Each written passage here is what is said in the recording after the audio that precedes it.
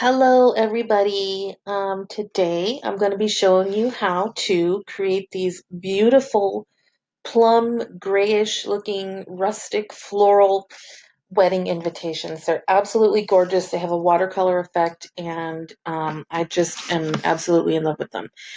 Anyways, we're going to be using templates today, and I'm going to show you guys just how easy it is to, to create your own wedding invitation suites in Photoshop. Um, I want to put something out there. You do not have to use Photoshop. If you don't have Photoshop or if you don't want to use Photoshop, that is completely okay. You can use any editing software that you choose. You can use PicMonkey, which is free online. You can use Microsoft Word. You can use any program that will allow you to add text to an image. Anything, PowerPoint, Word, PicMonkey, Canva, um, Photoshop, any of those will work. Today I'm going to be using Photoshop because it is a popular editing program and a lot of people like to use it. But I am going to show you that this is totally beginner friendly and really easy to do.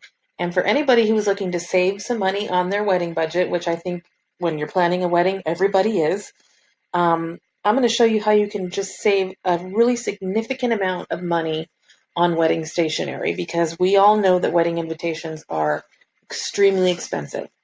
So here we go. What you're going to do is you're going to open this template in Photoshop by just clicking File, Open, and then you're going to browse for the file on your computer and bring it up in Photoshop. It is already sized for you here at 5 by 7. The artwork is already in place. The header wedding is already in place. All you have to do is add your text and save it, and then you're ready to print. It is super easy to do. These are templates that are ready to use with the artwork already in place, and in some cases, the header is already in place. And they're made so that you can just easily add your event details um, by text, and that's it. And then you're ready to go. So let me just show you how simple it is. Okay, the invitation is up. You're going to just go over here to the left and you're going to click on the T icon, which is for text. And you are going to just start typing. You're going to click wherever you want to start typing and you'll see that you, the blinking cursor here, you're ready to start typing. Up here is where you're going to choose your font. It's already selected on the font that I want, but all of your computer fonts will be there for you to choose from. So I'm going to use this one because it's classic font that I like. And the font size is here, so you can also adjust that as you go if you need to adjust the size up or down. So I'm going to leave it the way it is for now, and I'm just going to start typing. So I'm just going to say at the top here, together with their families. And then I'm going to hit the Control T button, which will select the whole thing and allow me to drag it into whatever place I want it. Oh, and I want to put it right here. And then over here in your layers palette, you'll see there's the text that we just entered. You're just going to hit Control J and it's going to duplicate that layer. And now you can just click on this move tool here in the corner and you can move that layer down that you just duplicated. So it makes it easier. It just saves a little time um, when you're wanting to type several different areas of text. Um, so together with their families, and in this box, I'm going to click, I'm going to highlight because we're going to be typing over, and I'm just going to write Michelle and Patrick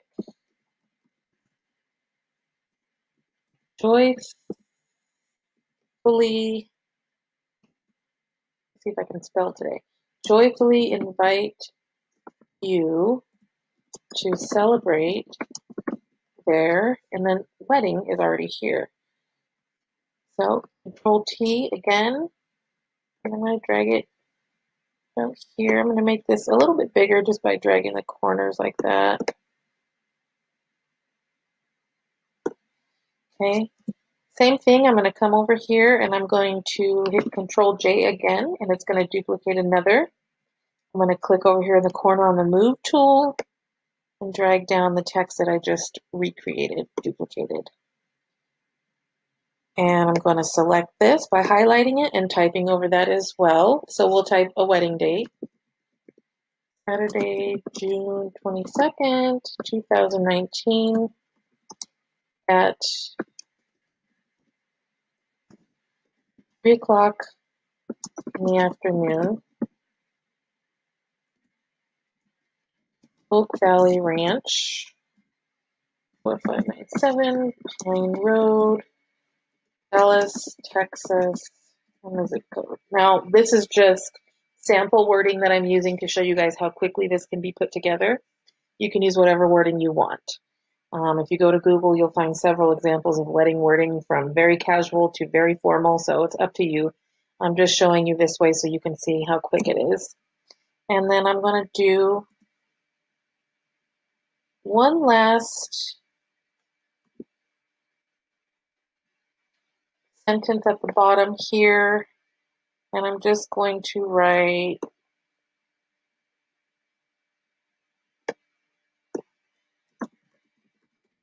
reception to follow.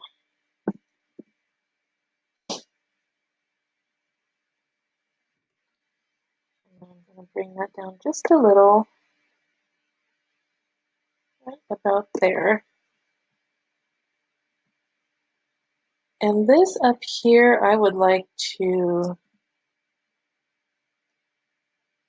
make it a little bigger. I hit Control T and I'm just dragging it so it's a little bigger. And we are done. Look, it just took just a few minutes to do that.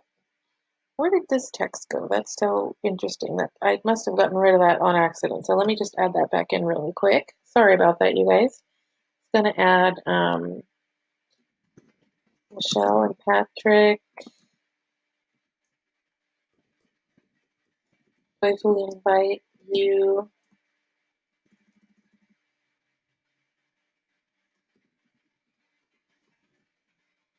to celebrate your wedding. Okay, perfect. So now it's all there. It's ready to go. It took just a couple of minutes for us to create this invitation.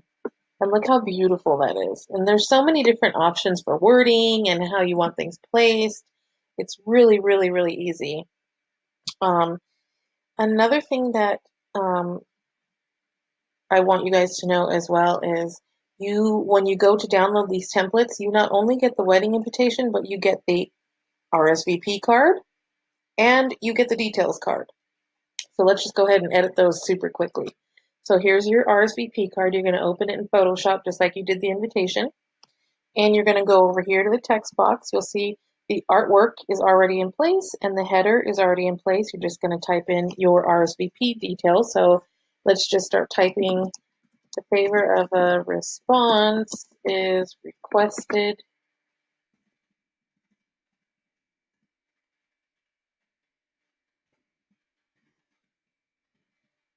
by and then we'll put a date. Now, don't worry that it's all the way over to the left side and it looks crazy right now. I'm going to adjust it. Um, there's the RSVP date, and then we're going to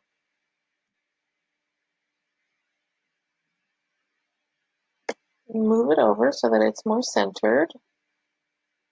About there. Fix that. There's a little extra space there. I'm going to highlight just the date and I'm going to make it bigger so that it stands out more. So about there. And then I'm going to type a few more details at the bottom. So I'm going to type, make an underscore and put, this is where your guests will choose whether or not they can come.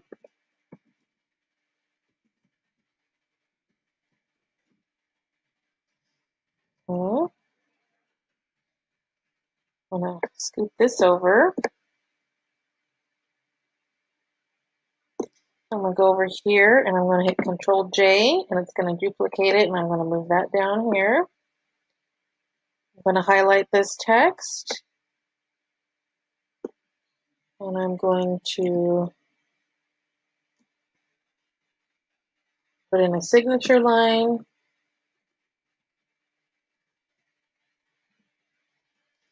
and a line for number of guests. Now again, I just use some standard RSVP wording. You can have it say whatever you want. That's the beauty of these templates is you can create them to say whatever you want. So um, that took just a couple of minutes and now your RSVP card is done. Now we're going to go over here to this tab and complete the details card the same way we just did the other two. So you're going to select text and you're just going to start typing. So on the details card, you can put, you know, directions, hotel accommodations, if you want people to know about your registry or any little details that you want to, uh, your guests to know when you send out your invitation. So on this one, I'm just going to write, um, for more information regarding directions, accommodations, registry, and more, please visit our wedding website www.monicaandpatrick.com. So, you know, if you have a, a website that you got, you know, from the knot.com or, or another similar type of a site, then um, this is where you would be able to share that with your guests. So I'm just going to put it here, just like that. And there you go. You have the entire suite done. You've got your invitation, you've got your RSVP, and you've got your information card. And all you have to do is save these to your computer and print them either at home or using a print vendor of your choice like Vistaprint or if you want to go to Kinko's or Office Max or anywhere that you can print on cardstock. Um, these are really easy to print. They're already sized. The artwork is already in place. It's just a matter of adding your text and your event details and saving it to your computer. So when you save these, you're just going to click File, Save As, and you're going to name it and you're going to save it to your computer just like you would any other document or file. Um, I hope you guys have enjoyed this tutorial.